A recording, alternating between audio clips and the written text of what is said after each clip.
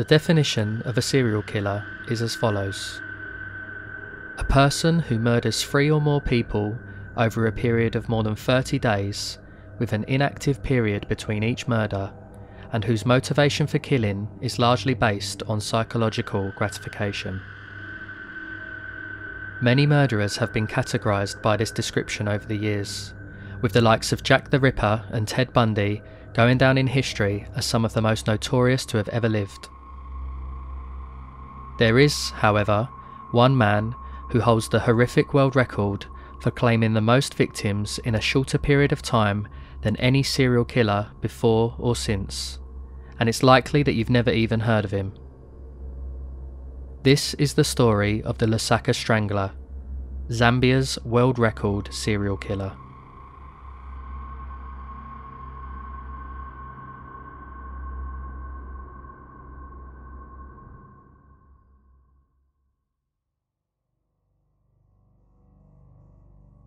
On January the 5th, 1980, an anonymous call was made to the central Lusaka police station in Zambia to report the discovery of a dead body lying in the playing field behind the Lusaka Boys Primary School.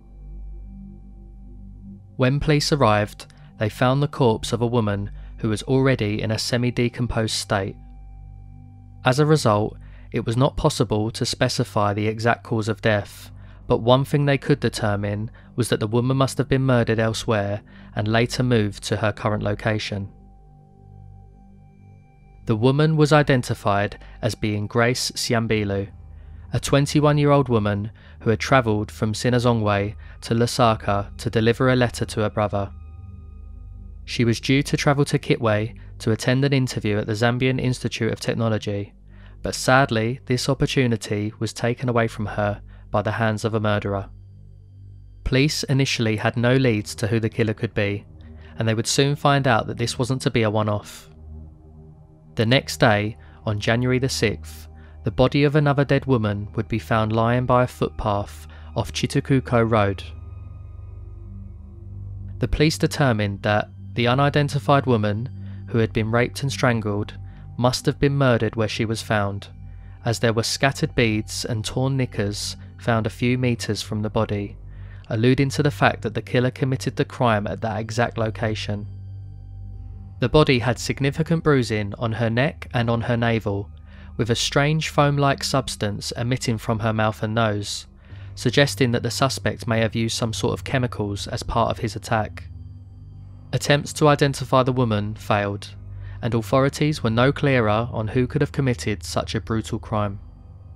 The police would soon come to realise that these murders were just the beginning of a killing spree which would span the course of nine months, with women and children as young as 10 years old being murdered at a rate of almost once a week.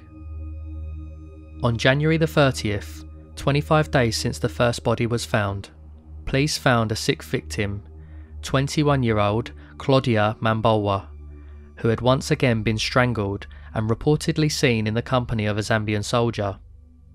At this point, the police knew that these murders were all linked due to the nature of the attacks, the demographic of the victims, and the rate in which these women were being killed, but they still weren't able to establish if this was the act of an organised gang or a lone wolf. All the bodies up to this point seemed to be left in fairly open areas where they would be easily found, alluding to the idea that whoever was committing these crimes wanted everyone to know about it, especially the Lusaka police. It wouldn't be until the 16th victim that police would finally get a clue as to the strangler's motives, although what they discovered ultimately left more questions than answers. Upon finding the body of 15 year old Miriam Chiwala, who, much like the others, had been brutally raped and strangled, Police found a message on a piece of cardboard lying near the body, presumably left by the strangler. The message read Nothing to say, guys, and don't mind all what I told you when you were going for elections. Comrades, no woman now. Please, my friend, be careful how you walk. Yours, no woman now. The meaning behind this note left many scratching their heads, although it sounds as though the strangler was talking directly to someone he had spoken to before. Perhaps he knew someone in the police force working on his case and was playing a game of cat and mouse. Whatever the meaning behind the message, the search continued for the elusive killer. Pressure began to grow on the Lusaka police, with the press calling for the government to bring in assistance from international forces, such as New Scotland Yard in Britain and the Bundeskriminalamt in Germany. However, the Zambian government decided against this, believing that it would be too costly to seek international assistance for a case that they could solve themselves.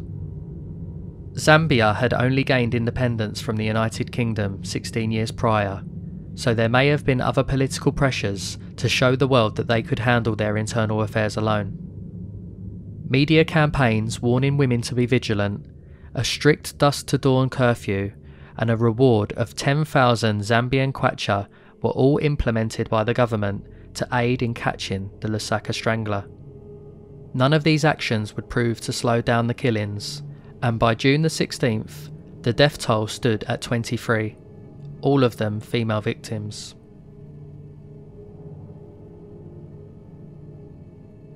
By this point, the best officers from all over Zambia were brought together to form a Special Investigations Team, or SIT, and begin Operation Rosemary in an attempt to thwart the killings. Superintendent William Mundia, who led SIT, concluded that the Lusaka Strangler was just one man, as the similarities between the victims were too alike to be the actions of many. The SIT began carrying out mass surveillance around areas of Lusaka where previous bodies were found, and on July the 16th, a breakthrough in the case was made. At around 7:30 p.m., Detective Constable Chikoti, who was observing activity around Kamwala bus station, noticed a young woman in a green dress with white stripes speaking with a soldier in combat gear. Feeling suspicious, he noted down that the soldier had some traditional marks on his face, was beardless, slightly short and stout, whilst the woman was brown, tall, and slim with a lot of hair. After around half an hour, the pair left the bus stop and headed towards Kamwala, disappearing into the night. Chikoti's suspicions would be proven true, as the next day the same woman reported to the police that she had just narrowly escaped a dreadful fate at the hands of the Lusaka Strangler. The woman in question was 19 year old Nora Soko, who was travelling to Lusaka to visit her parents from Kitwe. Upon arriving at Kamwala bus station, and well aware of the threat of a serial killer in the area, she claimed she was approached by two soldiers, one wearing combat gear and the other in a green uniform. The soldier in green left after a while, but the man in combat gear offered to escort Nora to her final destination in Lusaka which she said she politely declined. Nora then explained how she was forced to follow the man who, without warning, picked up her basket containing all her belongings and national registration card and began walking away at speed. Upon reaching a small bush path, the soldier introduced himself as Lieutenant Nyambe and asked Nora if she thought she would be able to recognise him outside of his combat uniform. When she replied that she could, she told police how he got hold of me by the shoulders and forced me down. He started squeezing my neck. I managed to kick him off me. In turn, he produced something which looked like a shifting spanner and hit me on my navel while saying, You are the only girl who I have failed to kill. I have killed the rest, so you are the one who will cause me to be arrested. He again hit me severely on the navel, and that was the last thing I remembered. During the attack, three security guards on duty nearby heard Nora's screams of terror and began rushing towards her direction whilst blowing their whistles. This is most likely the reason for Nyambe's comments, as he probably knew he didn't have the time to kill Nora and fled the scene in fear of being arrested. Thankfully for Nora, the alerts from the security guards most likely saved her life, and her survival was welcome news for Superintendent Mundia. Nora sustained multiple bruises on her abdomen from the attack and had fingernail scratches along the side of her neck. She also began developing sores on her tongue, which were caused by an unknown chemical substance which she had been forced to take. Nora Soko now became a critical part of Operation Rosemary and confidently told police that she could identify the Lusaka Strangler without any doubt to help bring his reign of terror to an end. The police learnt from Nora's statement that the killer dressed in a soldier's uniform, which was confirmed by the previous description of the sighting of a soldier accompanying Claudia Mambawa on January the 30th. Police now began narrowing their search field, looking for either a former soldier or a man who disguised himself in army uniform. Unfortunately, efforts to find Nyambe would remain difficult as another victim would be found strangled five days later. At this point, the killings stopped, and the whole of August saw no reported deaths linked to the Lusaka Strangler. This hiatus didn't last long, however, and another body was eventually found on September the 12th. It seemed as though the terror of the Lusaka Strangler had begun again, with the nation gripped by fear as Zambia's most ruthless serial killer re emerged. This was, however, to be the Strangler's last victim, as his next target would once again live to tell the tale. On the 17th of September, Josephine Mukatasha and her baby daughter left their home in Chingola to travel to Mumbwa by bus via Lusaka. With her daughter strapped to her body in a makeshift baby carrier, Josephine ended up befriending another woman along her journey who was travelling to Petauke. Arriving in Lusaka at 8:15 p.m., they both realised that there were no buses scheduled to either of their destinations that evening, and so decided to spend the night at the bus terminal together until the following morning. It wasn't long before they were approached by two soldiers, just as Nora Soko had claimed previously on the day of her attack. The soldiers began talking to the women, asking them to produce their national registration cards and questioning their movements. The men then ordered the women to accompany them for the night in a nearby hotel and would not take no for an answer. The soldiers picked up the belongings of the Petauke bound woman and began walking away from the station, forcing the girl to follow the men in pursuit of her possessions. Josephine refused to join her and decided to stay at the terminal. After some time, one of the soldiers returned and explained that the Petauke woman had now decided to stay with the other soldier at the hotel and that she was now sleeping comfortably with him.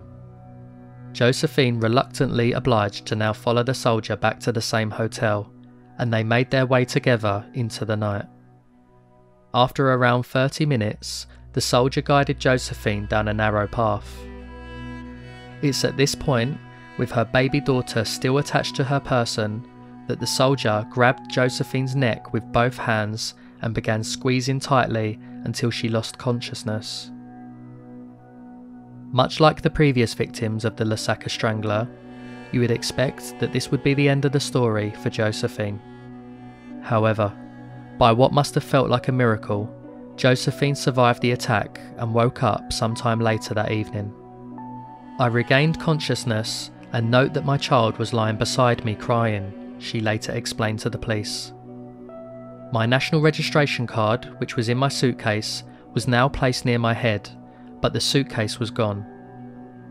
Her wristwatch and her wedding ring were also taken from her person while she was unconscious. Relieved to be alive, she quickly gathered her child and staggered towards some houses to seek help, where she managed to find refuge for the night. The next morning, on September the 8th, Josephine reported her attack to SIT, who now knew they were certain to be looking for either two active members of the Zambian army or men who were using that disguise as a ploy to lure women. The whereabouts and identity of the Petauke woman has never been confirmed, and therefore her fate has never been fully understood. But if history was to tell us anything from the previous victims of the Lusaka Strangler, it's likely that she met her demise at the hands of the second soldier that night. Police were certain that Nora Soko's and Josephine Mukatasha's attackers were the same person, as the description that both of them gave matched almost identically. With the search narrowing on the assailant, police came up with a strategy to try and lure the killer into their hands. Just over a week after her attack, the SIT sent detectives along with Josephine back to Kamwala bus station to see if she could spot the man who tried to take her life. The plan was for Josephine to wander out in the open to lure the strangler into a trap whilst the undercover detectives would observe from afar. At 7:30 p.m., just as planned, the same man in army uniform approached Josephine and introduced himself to her. Despite having attacked her only a week ago, he seemed to not recognise Josephine whatsoever, saying, I happen to have seen you somewhere. Josephine made up a story that she had never met him before and had just arrived in town from Chingola. Just like the night he strangled her, he asked if she would accompany him at a local hotel. Josephine knew for certain that this was the man who tried to take her life, and not just because she recognised the man's face. Attached to the man's wrist, in plain sight, was Josephine's missing watch, the same watch that was stolen from her the night she was strangled. She agreed to join him and asked him to wait so that she could go collect her luggage but instead alerted the officers that were watching in the distance. Detectives moved in when the signal was made, and after putting up some resistance, the soldier was subdued and taken to Lusaka Central Police Station. The man, who had originally called himself Lieutenant Nyambe, was identified as Milton Mufangalwa Sipalo, of house number 23, Arakan Barracks in Lusaka. Police raided the barracks the next day and seized a number of items, including much of Josephine's belongings. When confronted with the evidence, Sipalo claimed that Josephine came to his house at the barracks for sexual relations, but that once he noticed that she had an operation on her abdomen, he decided against it. He claimed that she left with her child the next morning, but never came back to collect her belongings. Police didn't buy the story, and instead took Sipalo to Lusaka Central with another soldier who was implicated with the murders to take part in an identification parade. The other soldier in question was Kenneth Kalue, who was also from the Arakan barracks. Three witnesses, including Nora Soko and Josephine Mukatasha, confirmed that their attacker was indeed Milton Sipalo from the lineup. None of them, however, identified Kalue as the second soldier. When Sipalo was pointed out by the women, rather than profess his innocence, he plainly said, If they can pick me from the line of others, then I am the one who tried to kill them. On the same afternoon, Sipalo led a team of officers, including Superintendent Mundia, to various spots in Lusaka where he allegedly strangled some of his victims, and claimed that Kalue was his accomplice who would help him commit these acts. Kalue denied having anything to do with the murders, yet police still had reason to believe he may have been the second soldier, so decided to further search the homes of both suspects. Sipalo's house had a number of items belonging to nine of the victims of the Lusaka Strangler, including property belonging to Nora and Josephine. Nothing was found in Kalue's house, however, and due to a lack of evidence linking him to the crimes, he was eventually released from custody. Police knew they finally had their man, and Zambia could finally breathe a huge sigh of relief as the notorious Lusaka Strangler was now in the hands of the authorities. The only thing left to uncover was the motive for his killings, with the hope that the Lusaka Strangler's murderous reign could finally be understood. Sipalo, however, had other ideas. The day after being identified as the killer, Whilst being transported to a conference room for interrogation, Sipalo managed to break free from the clutches of the police and made his way to the roof of the building. Standing over the edge of the police station, in a final act of desperation, he threatened to throw himself off and commit suicide. Despite the efforts of the police, fire brigade, and onlookers, Sipalo leapt from the roof and met his demise on the ground below robbing the entire country of an explanation for his sinister crimes. At the time of his death, the Lusaka Strangler had ended up claiming the lives of 29 women and children at a rate of once per week between January and September. What were his motives? How many more had he possibly killed? And if Kalue wasn't the second soldier, then who was? All of these questions will most likely remain unanswered forever. But whilst Sipalo may have left Zambia without closure, one thing he did leave them with was an unwanted, gruesome world record as the nation's most prolific serial killer.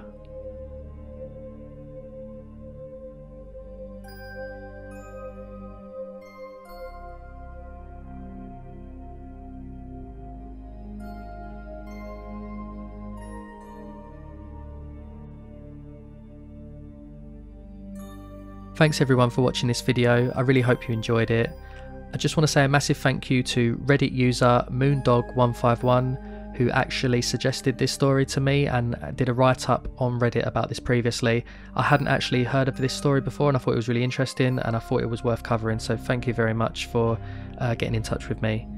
If there is anyone out there that wants me to cover a particular story, then feel free to get in touch. I have an email on my profile and also you can just put comments on the video below and I'll um, I'll look at all of those. So again, thanks very much for watching. Make sure to like and subscribe and I'll see you on the next video. Thank you.